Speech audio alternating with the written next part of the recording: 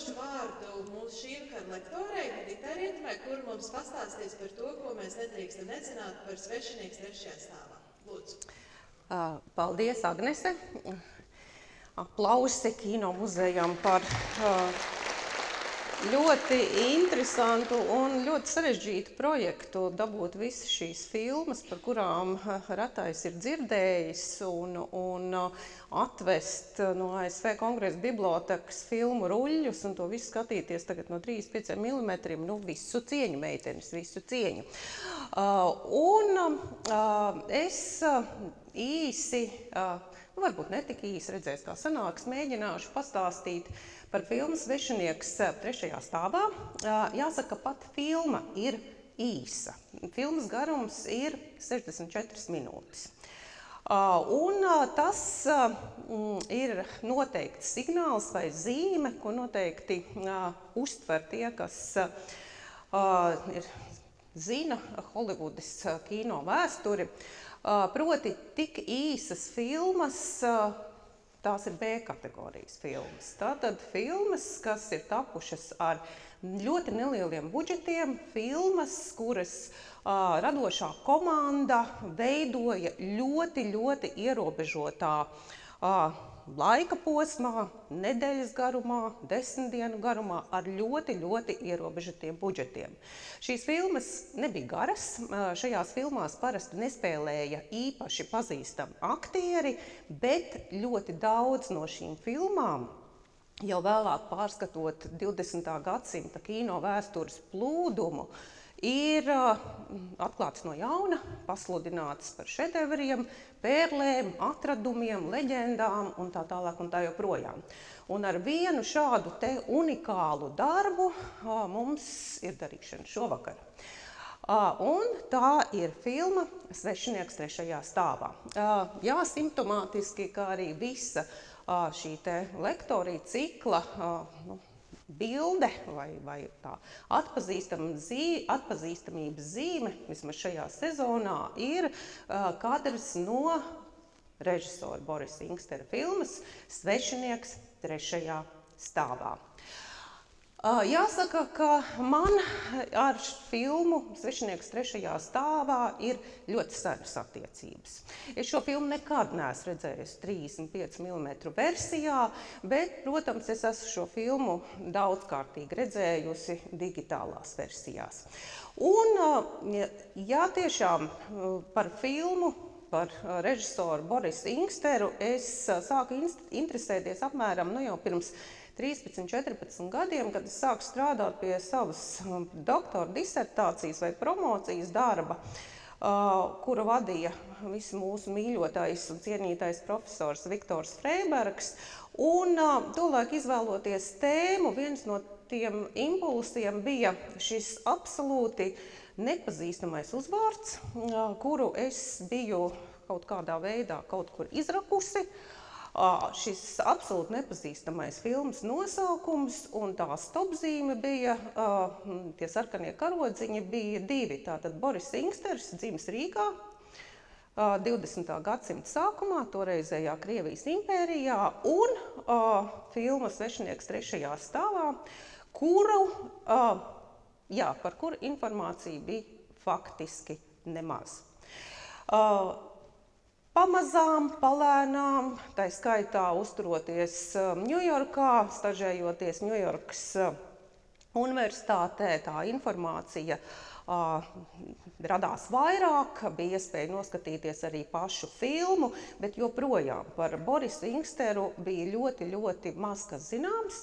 Un arī māte Google pirms gadiem 10, 12 neko daudz par Borisu Inksteru nevarēja vispār pateikt. Nu, Google ir progresējusi par Borisu Inksteru, šobrīd var šo to arī izlasīt.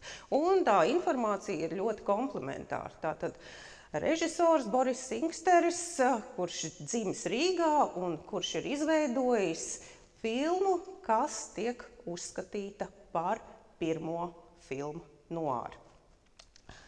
Uh, nu, tie, kas uh, mīl filmu noāru, un tādu noteikti ir daudz, uh, uzreiz nu, viņu acīs iegailās intereses liesmīs, ka ah, vai tiešām tā tad Rīga filmu noāra, tad, tad kaut kas pavisam interesants, tā kā būtībā Es zinu, ka daudziem vairākiem kino profesionāļiem ir idejas arī kaut kādā veidā kapitalizēt šo faktu, proti, attīstot varbūt zīmolu, Baltijas noārs, nu, sakojot Skandināvijas noāra trendam, kas, kā mēs zinām, ir ļoti ejošs seriālu tirgus, proti mūsu kaimiņi skandināvi ražo ļoti populārus seriālus, kuros tiek izmantotas noāra iezīmes. Un mēs bieži nu, arī sarunu valodā izmantojam šo jēdzienu noārs, neonoārs. Mums, te, nu ne mums, bet Splendidā kādreiz bija kafejnīca filma no ārā, nu vairs nav, bet nu, šis jēdziens ir visapkārt. Uh, bet kas tad ir šis filmu noāra? Uh, īsumā tātad jēdziens, protams, nāk no franču valodas, bet nav labais stils to uh, tulkot, tēvēt par melno filmu, tā, tā nav pieņemts. Arī akadēmiskos tekstos un pētījumos, kas ir veltīti filmu noāra, šis jēdziens tiek saglabāts angļu valodā. Un arī tā filmu noāra atvase, neonoāra ir, protams, arī jēdziens, ko, ko lieto īpaši nemēģinot tulkot.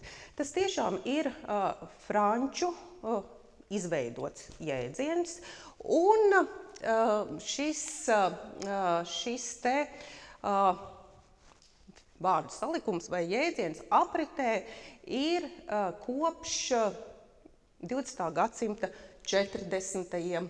gadiem. Bet šo jēdzienu pamatā attiecina uz Holivudā veidotām filmām, kas ir veidotas ļoti konkrētā laika posmā. No 20. gadsimta 40. gadu sākuma līdz 20. gadsimta 50. gadu vidum.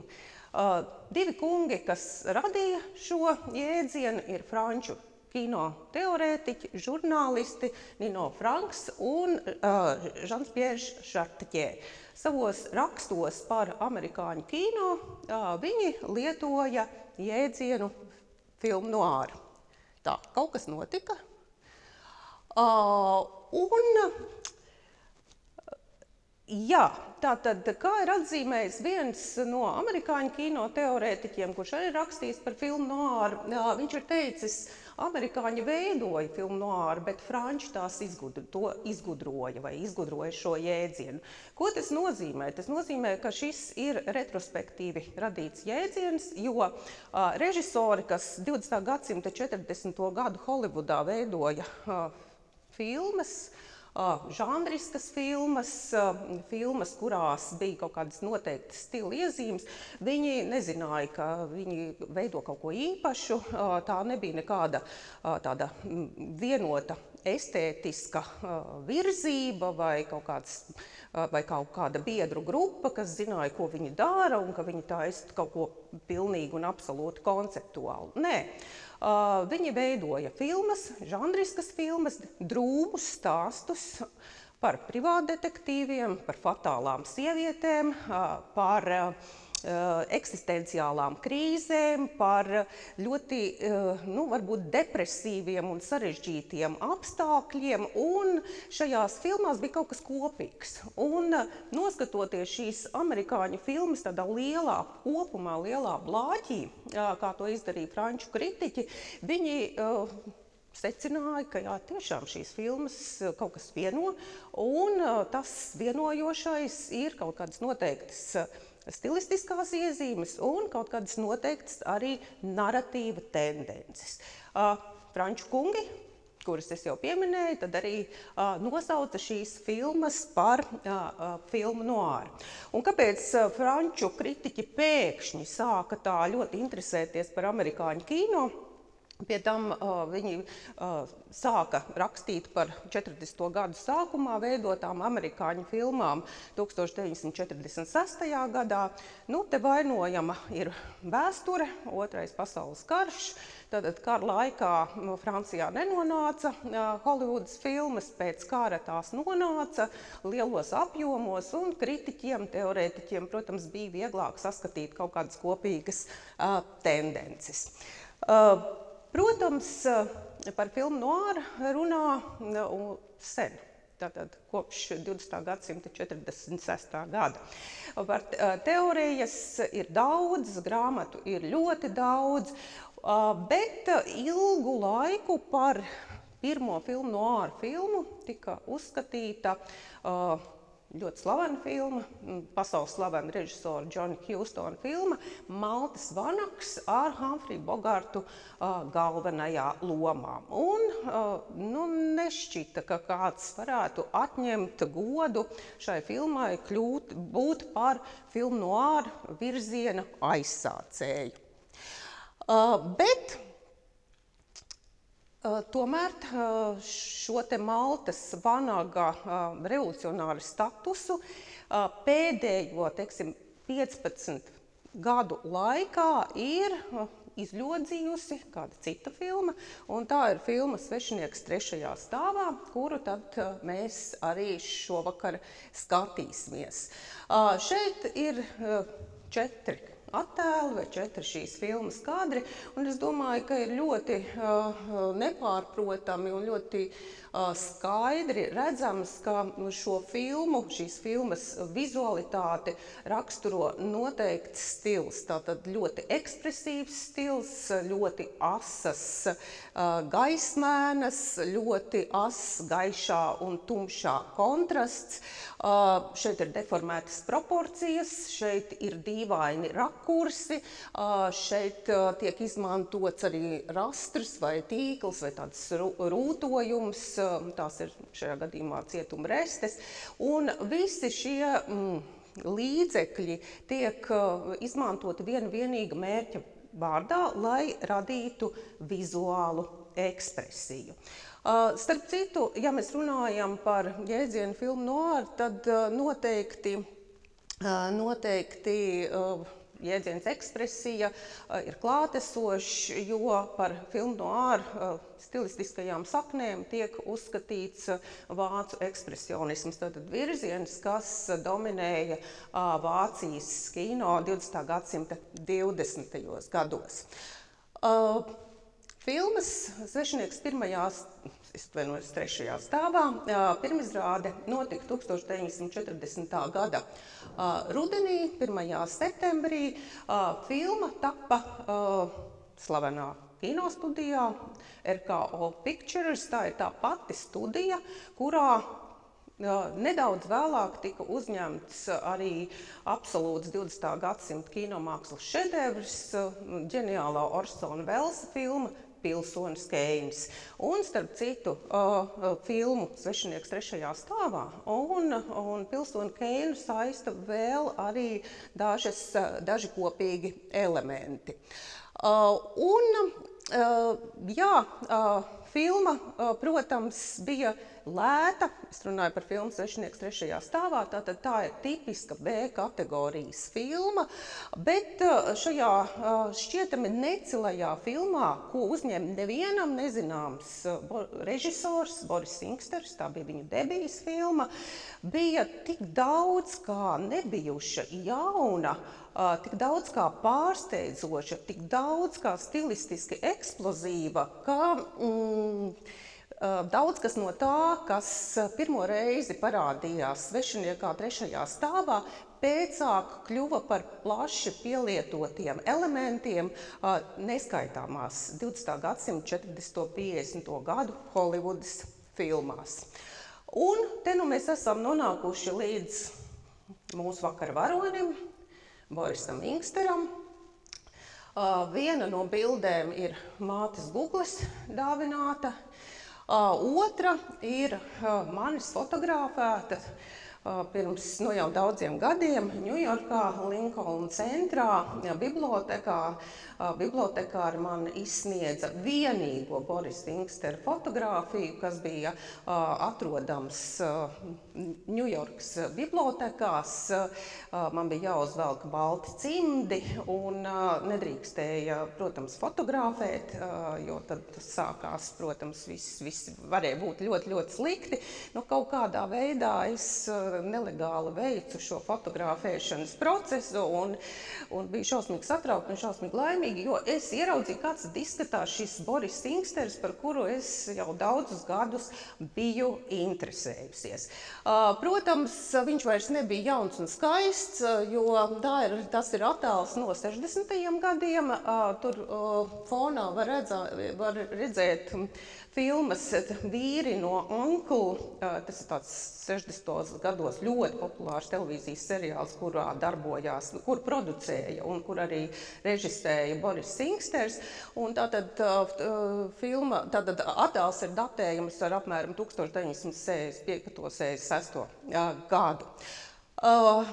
Bet Jā, nu nav, joprojām nav daudz uh, attēlu un arī nav daudz informācijas par uh, Inkstera dzīvi. Uh, bet ir zināms viņa īstais vārds, tātad Boris Azarhs. Viņš ir dzīvis Rīgā 1903. gadā, miris Kalifornijā, Losandželosā 1978. gadā. Kā jūs redzat, viņa vecāki ir eh, gājuši bojā 1941. gadā Rīgā. Visdrīzāk tas ir saistīts ar eh, holokaustu. Tātad eh, viņa vecāki ir gājuši bojā nu, tieši Rīgas okupācijas laikā. Un mm, Boris Singsters nāk no ļoti talantīgas ģimenes, jo viņam vēl ir divi brāļi un māsa. Par māsu informācijas nav. Par brāļiem abi brāļi, gluži tāpat kā Boris Singsters, ir devušies pasaulē un ir aizrāvušies ar teātri un kino. Aleksējs Granovskis, tāds ir viena no Boris Inkstera brāļu pseidonīmiem ir bijis pazīstams teātris režisors Vācijā. Un savukārt Leonīds Azarks ir strādājis Parīzē un bijis filmu montāžists. Tā kā būtībā ļoti talantīga ģimene, kas ir interesējusies par performanci, par teātri, par kino. Kur, kur šeit ir pats Boris Singsters? Boris Singsters devās uz Maskavu. Un kaut kur, kaut kur tie viņa soļi vai viņa gaitas bija paralēlas Sergeja Eizensteina gaitām. Nu, tātad Sergejs Eizensteins, Latvijā ģimušai, dzimušais kino ģēnijs, kurš droši vien ir atbildīgs par montāžas prasmē manipulēt ar cilvēkiem, manipulēt ar skatītājiem. Mēs varam teikt, ka varbūt Sergejs Eizensteins vispār ir atbildīgs par uh, propagandas mašinērijas radīšanu, bet uh, nu, viņš nenoliedzami bija ģeniāls. Un uh, Boris Inksters uh, satika Sergeju Eizensteinu, satika Maskavā. Viņš noskatījās Sergeja Eizensteina iestudēto teātri izrādi, jo Eizensteins sāk darboties tieši teātrī 20. gada sākumā, iestudējot Ostrovska lūgu. Un uh, Ingsters tajā brīdī nu, sāka uh, interesēties par Eizensteina personību. Viņiem radās arī kaut kādas maziet, mazliet personīgākas attiecības. Un uh, pamazām uh, viņi abi kaut kā nonāca Amerikas Savienotajās valstīs, Holivudā. Mēs zinām, ka Eizensteinu uz, uzaicināja pēc bruņukuģa pat Jomkins grandiozajiem panākumiem uh, strādāt Holivudā, noslēdza uh, līgumu ar viņu.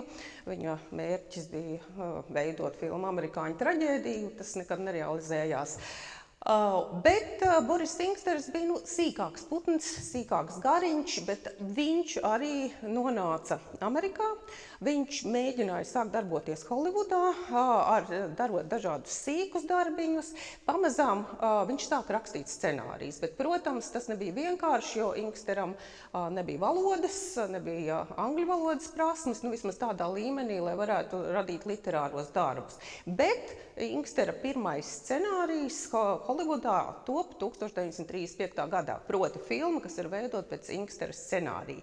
Uh, Pašos, trīs, pašos 30. gados vai 30. gadu sākumā Ingsters ar Eizensteinu arī bija saistīti viņa uh, mm, ambiciozā un problemātiskā Meksikas uh, kino projekta sakarā. Tad uh, Ingsters mēģināja kaut kādā veidā arī iesaistīties šajā uh, projektā. Pēcāk, pakļaujoties Staļina tiešai šantāžai, Eizensteinam bija jāatgriežas Krievijā, padomju Krievijā, savukārt uh, Ingsters palika Holivudā. Uh, un, uh, viņa, uh, viņš ir daudz rakstījis scenārijus, bet viņš, protams, gribēja režisēt. Un 1940. gadā viņš nonāca, viņam bija šāda iespēja, tātad uh, radīt filmu Svešinieks trešajā stāvā. Uh, Protams, kino ir kolektīva māksla, kā mēs zinām, un bez Borisa Ingstera šajā filmā piedalās arī ļoti daudz interesantu personību. Un, man liekas, ir vērts pastāstīt mazliet arī par šīm personībām. Aktieri tādā mūžības kontekstā ir mazzināmi vai aizmirsti. Gan Džons Magvairs, kas filmā tēlo mm, žurnālistu, gan Margarita Tališeta. Būtībā viņiem šī filma ir ļoti svarīga viņu karjerās. Džona Magvaira karjera turpinājās, lai gan nu, viņš ir, teiksim, nu, pamatā tur bija B kategorijas filmas. Savukārt Margarita Tališeta izvēlējās ģimeni, nevis Holivudu. Viņa apprecējās ar vienu no Holivudas 20. gadsimta nozīmīgākajiem režisoriem, Viljamu Vaileru, un, viņai, un viņiem abiem bija pieci bērni. Bet Pīters Lore, tas tā gan ir seja, kur jūs noteikti atceraties no filmas, piemēram, Casablanca, ko Splendīds te ļoti bieži rāda, vai no filmas Maltis Vānaks, un varbūt arī no Frica Langa leģendārā trillera M, kurā Pīters Lore tēlo maniaku, masu slepkavu. Uh, un, protams, pateicoties, pateicoties visiem, nu, teiksim tā, ieliekot pēdiņās, ka pateicoties visiem vēsturiskajiem, traģiskajiem vēsturiskajiem procesiem, kas notika Eiropā, Pīters Lore bija viens no tiem aktieriem, kurš no jā, Austrijas, Vācijas, Austrijas, no tām kino industrijām uh, bija spiests bēgt uh, bēgt uz Holivudu. Tieši uh, nacistiem nostiprinoties nacistu uh, varai. Un uh, filmā Svešinieks trešajā stāvā viņš ir, teiksim, tā zvaigznes statusā. Viņš noteikti ir zināmākais no šīs filmas aktieriem. Uh, Vēl ir ļoti interesants fakts, ka filmas svešinieks trešajā stāvā mākslinieks Van Nests Polglāze ir veidojis scenogrāfiju arī ģeniālajai Orsona Velsa filmai uh, Pilsonis Keins. Nu, tas saista pasaules klases šedevru un šķietami šo rīdzinieku Borisa Inkstera veidoto B kategorijas filmu. Nu, tāds nieks. Un, absolūti ģeniāls ir operatora darbs. Tātad operators Nikolas Musoraka, kurš savukārt ir imigrants no Itālijas, Holivudā viņš ir veidojis izcils Holivudas uh, filmas. 40. gados tie ir daži kadri no šīm filmām, un jūs redzat, cik līdzīga ir, uh, ir operatora izteiksmes līdzekļu palete, cik precīzi viņš strādā ar gaismēnām, cik ekspresīvi tas viss ir un cik, nu, cik brīnišķīgi. Jo, piemēram, filma no pagātnes ir viena no zināmākajiem amerikāņu filmu noāra. Režisors ir Žaks Turnē. Uh, Žaks Turnē ir uzņēmis arī filmu Kaķis cilvēku, un arī to, uh, šo filmu ir veidojis Nikolais Musurako. Un augšējie kadri ir no svešinieka trešajā stāvā. Uh, Jā, nu tātad mums ir darīšana ar pirmo īsto noāru. Uh, un, uh, teiksim tā, vienmēr, lai uh, nāktu klajā ar šādiem apgalvojumiem, vajag, protams, uh, apbruņoties ar dažādu akadēmiķu citātiem. Un viens no amerikāņu filmu noāru pētniekiem, Roberts Porfīrio, uh, ir rakstījis, ka tiešām Boris Inkstera svešinieks pirmajā stāvā atkal pirmajā, trešajā stāvā, ir pirmais šis īstais amerikāņu uh, noāra, kas uh, atšķirās nu, ar daž, dažādiem elementiem no visa tā, kas ir bijis pirms tam. Un tie atslēgas vārdi, protams, kas ir klātesoši, Uh, runājot par Inkstera filmu, ir vācu ekspresionisms, vācu ekspresionismu ietekmes ir maz izglītojuši kādreiz no doktora Kaligārija kabinets.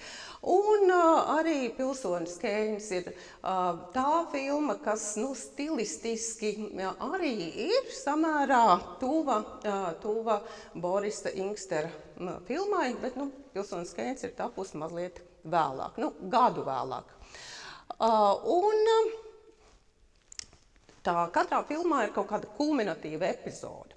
Un uh, filmā Svešinieks trešajā stāvā šī kulminatīvā epizode ir sapņu aina. Uh, galvenais varonis žurnālists, kura moca sirdsapziņa. Jūs redzēsiet, kāpēc. Viņš murgo, viņš redz vīzijas, viņš, ar viņu kaut kas notiek. Šī aina ir veidota kā tāds ekspresīvs, surreāls uh, fragments.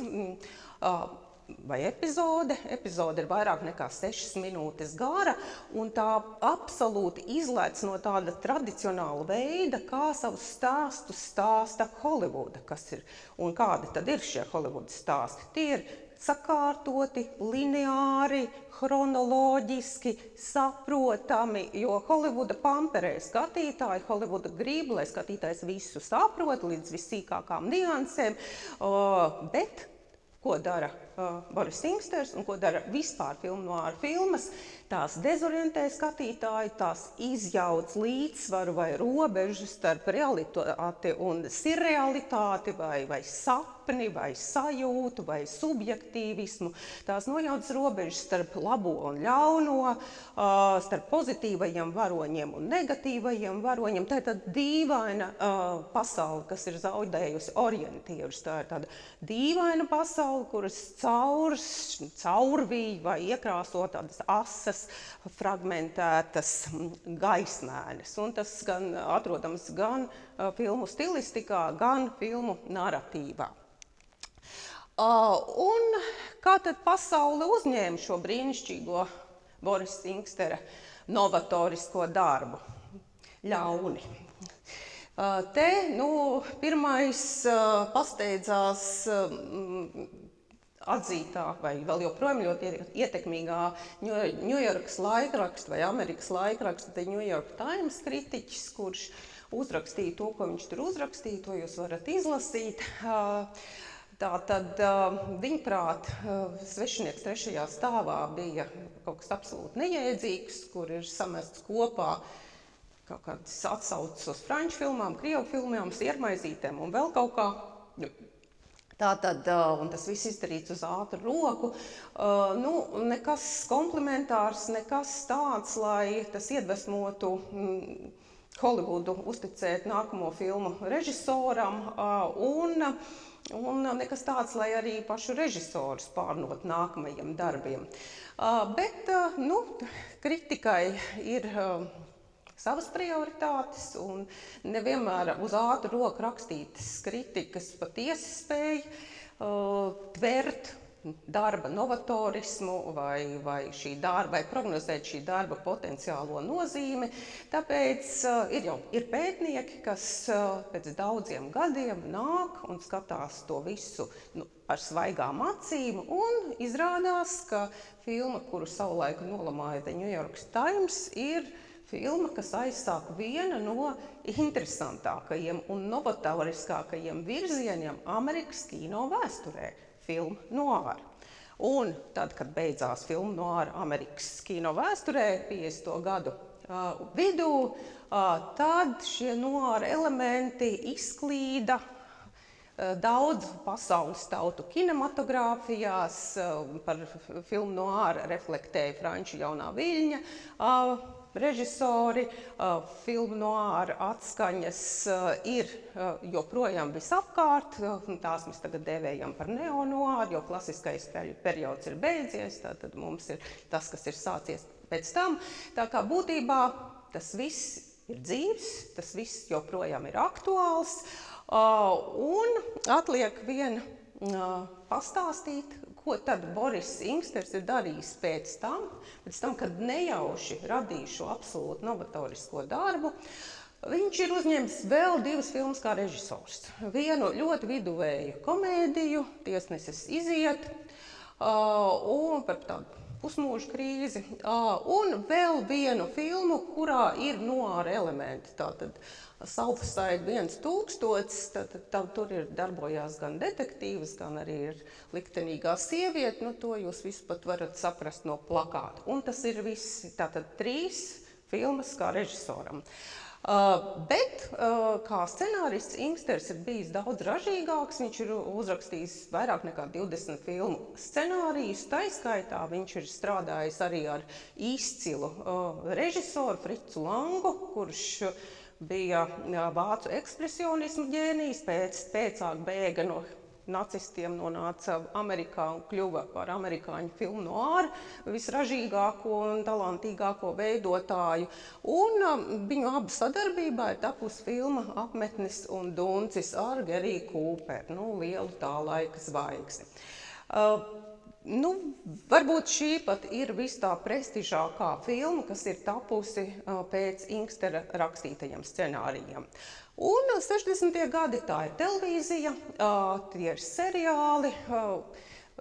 Inksters daudzu ir veidojis tieši seriālus, un šis te vīri no Ankla, kas ir tāda bondiāna, tā, nu, tāda seriāls par spiegiem. Bonda stilā. Starp citu, pirms gadiem, pieciem, sešiem bija arī ne īpaši veiksmīgs remakes filmas veidā. Un, jā, tā tad tieši arī šis seri, seriāla periods noteikti arī veido kaut kādu, not, kaut kādu būtisku Borisa Ingstera radošā mantojuma daļu. Bet mums, kā rīdziniekiem, mēs noteikti varam uh, domāt, ko darīt ar filmu no ārā radītāja Borisa Inkstera radošo mantojumu. Lūk, nu tas laikam ir arī viss, ko es gribēju pateikt. Tagad tie būs 64 filmas, 64 minūtes Borisa Inkstera filmas no 35 mm. Paldies Kino muzejam, Amerikas vēstniecībai un jums skatītāji!